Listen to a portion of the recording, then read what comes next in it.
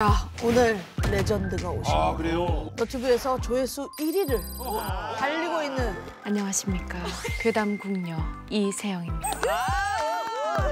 내가 사모하는 사람은 심야괴담의 덕. 아유 나랑 백년가약 맺었잖아. 나랑 영원히 살아야지.